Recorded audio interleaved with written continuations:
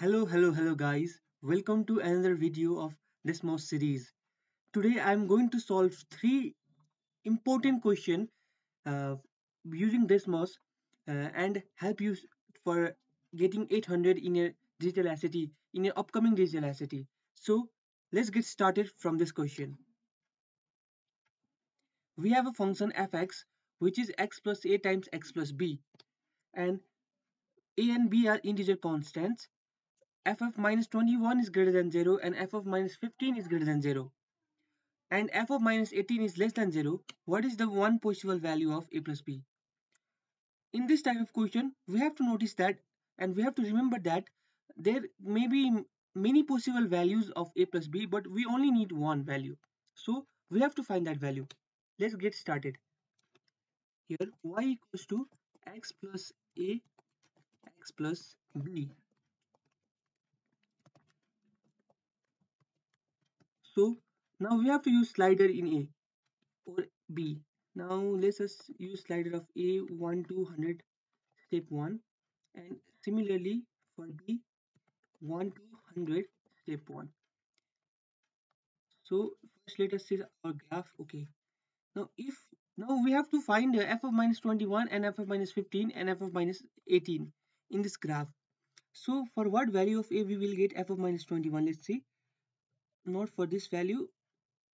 I think for this value f of minus 21 oh no. Uh, let us little bit less. Yes. For a equals to 19 are we getting f of minus 21 yes we are. Almost around here. And it is positive 2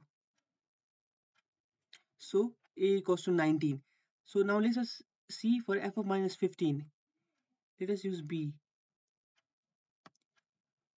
f of minus 15. Let us zoom a little bit. Yes. f of minus 15 is somewhere here. And it is also positive. So our a plus no no wait. We have to see for f of minus 18 less than 0. That means f of minus 18 is somewhere here. So we have to make it less than 0. Like this we can do it. f of minus 18 is less than 0. f of minus 15 is positive. f of minus 21 is positive.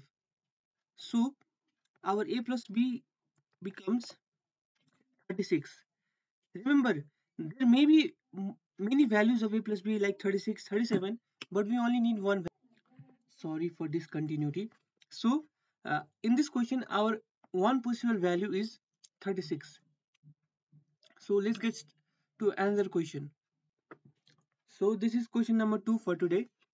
In this question we have given a system of equations and c is a constant. The system has two distinct real solution for which value of c it is true. Okay we have to find the value of c and c is a constant. So let us type two equation in this Desmos first is y equals to x minus c and another y equals to minus 6 x minus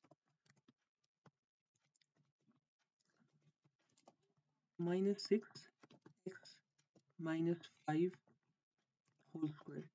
So we have to find the value of c.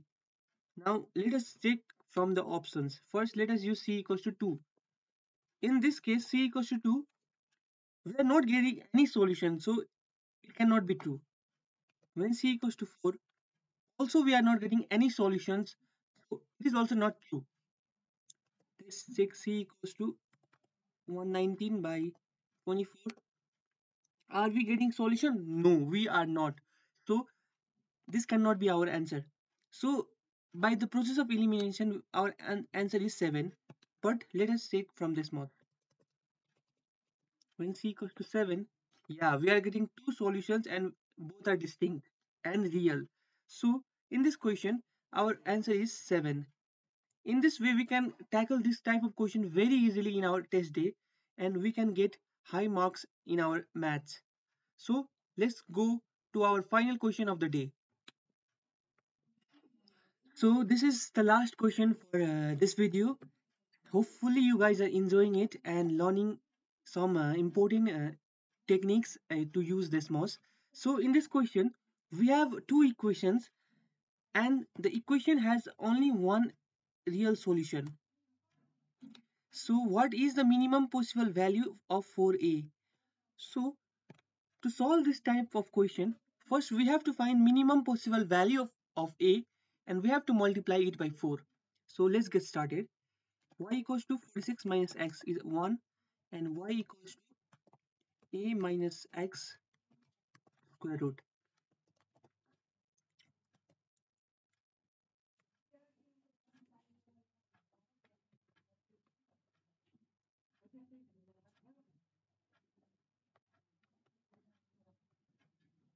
So we can see in this uh, graph, so we have to use slider for a.